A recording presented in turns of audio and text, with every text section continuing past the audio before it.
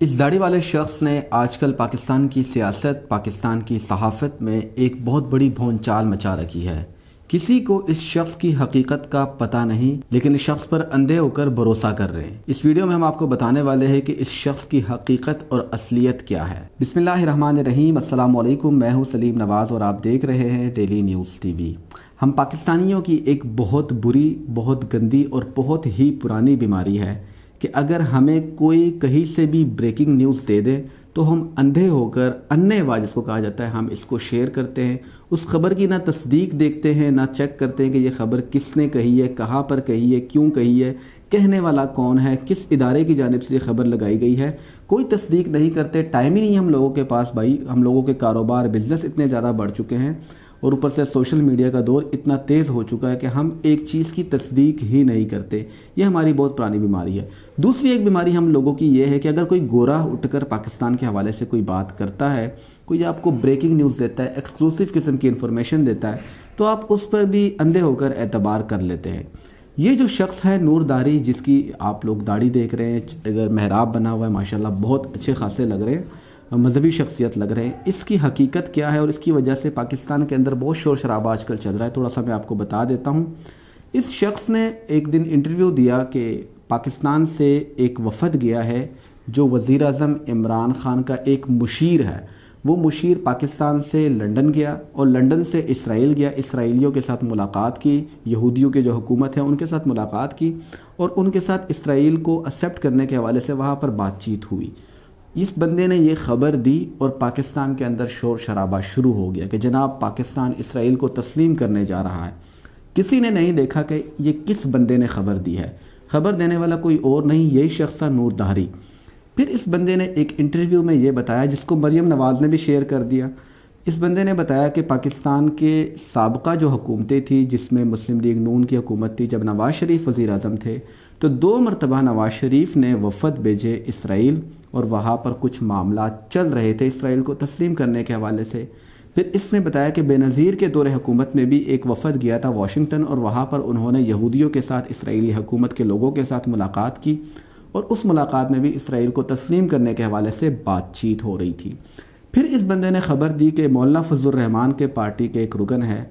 अजमल कादरी, वो भी इसराइल गए थे और इसराइलियों के साथ जो है बातचीत की। तो जो पीटीआई के लोग थे, वो लोग तो खुश हो गए कि जनाब, नून लीग के दो, नून लीगी और इसके अलावा मौला फजलरहमान जो है यहूदी एजेंट है।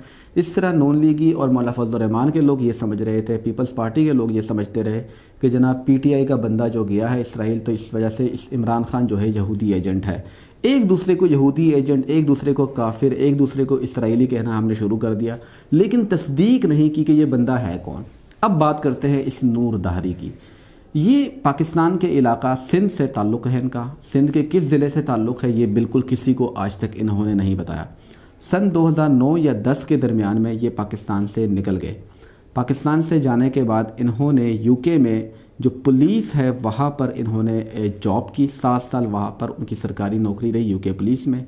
फिर पुलिस छोड़कर अब इनका काम क्या है कि काउंटर टेररिज्म के ऊपर सिक्योरिटी के मामला के ऊपर, और इसके अलावा बहुत सारे जो इस्लामी मामला है, उसके ऊपर लिखते हैं, और इसके अलावा एक ड्राइविंग स्कूल चला रहे हैं। इनका सबसे बड़ा एजेंडा क्या है कि ये यूके में मुसलमानों को, बिलखसूस पाकिस्तानी जो मुसलमान हैं, वहाँ पर रहते हैं नौजवान। उनको टारगेट करते हैं, उनको पकड़ते हैं, उनकी गैदरिंग करते हैं जगह पर, बीस लड़के, तीस लड़के। फिर उनको लेक्चर्स देते हैं। अपनी लेक्चर्स के दौरान इनका एजेंडा मेन पॉइंट ये होता है कि इसराइल को तस्लीम करना कोई गलत चीज़ नहीं है। और मुख्तलिफ़ मिसालें देते हैं वीडियोज़ दिखाते हैं, तस्वीरें दिखाते हैं। जिसका ये बताते नहीं है कि इसको पैसे कहाँ से मिलते, क्योंकि इतना बड़ा सेमिनार करवाना, बड़े होटल में वहाँ पर ख़र्चा करना, वहाँ पर खाने खिलाना तो उसके लिए ज़ाहिर सी बात है पैसा लगता है। तो इसमें कोई शक नहीं है कि इनको पैसा इसराइल से ही मिलता है।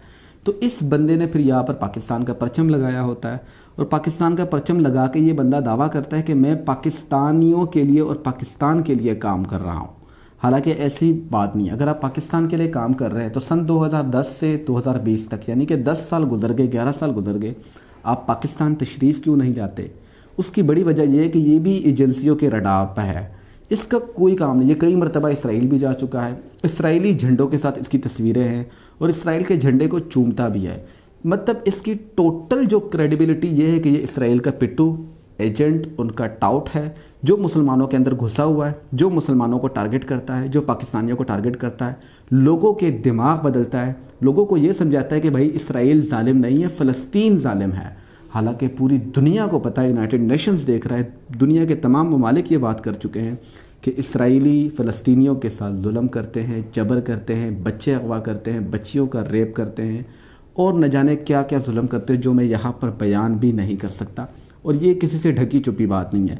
बाकी इसराइल, जो कि एक दहशतगर्द रियासत है, एक बदमाश रियासत है, एक कब्ज़ा ग्रुप है, एक कब्ज़ा माफिया है, जिसने कब्ज़ा किया हुआ फ़लस्तीन के ऊपर, इसके सिवा इनकी कोई हैसियत नहीं है। दूसरा, इनकी कोशिश है कि पाकिस्तानियों का दिमाग बदला जा सके, इस तरह की खबरें देकर। लेकिन पाकिस्तान के अंदर ये मुश्किल है होना। मजहबी तबका अलग है, आम पाकिस्तानी अलग है।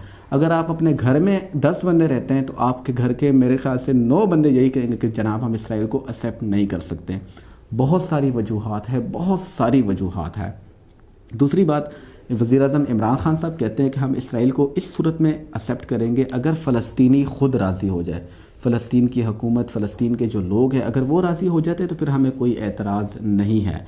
बाकी इस शख्स के बारे में आपको बताना था खुदारा किसी की खबर सुनकर उस पर अंधे होकर एतबार ना किया करे। एक मरतबा उस चेक, उस शख्स की क्रेडिबिलिटी उसकी हैसियत, उसकी औकात देख लिया करे कि वो बंदा है क्या। अब ये यहूदियों का टाउट यहूदियों का एजेंट ये पिट्टू जो पाकिस्तान से भागा हुआ है, ये पाकिस्तान से मुतलिक बातें करते फिर कहते हैं, मेरी एजेंसियों के अंदर भी ताल्लुक है, इसके अंदर। ये एक आम सी चीज़ होती है। हमारे पाकिस्तान के सहाफ़ी इवन कहते हैं, जनाब मुझे मेरे ज़राए ने बताया जो फ़लानी एजेंसी में था, फ़लानी एजेंसी में था, फ़लाने इदारे में था। तो ऐसा कुछ नहीं होता, ये इम्प्रेशन बनाने के लिए और आप लोगों को मुतासर करने के लिए। अभी मैं कह दूँ कि बनाए, मेरे ज़राए ने जो यूके में है यूके की एजेंसी एम सिक्सटीन में होते हैं एम फाइव में होते हैं एम फोर पता नहीं कौन सी एजेंसी हैं तो मैं आपको कुछ भी बता दूँगा और आप यकीन कर जाएँगे। तो बर मेहरबानी अगेन कह रहा हूँ कि ये बंदा जो है पाकिस्तान के अंदर सिर्फ़ और सिर्फ़ इंतशार फैला रहा है।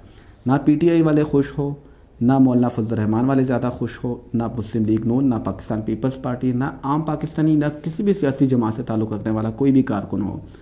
इन जैसे लोगों के, जो कि धबरदूस लोग हैं, जो कि झूठे फ्रॉडिया लोग हैं, इन लोगों की बातों में बिल्कुल भी ना आए।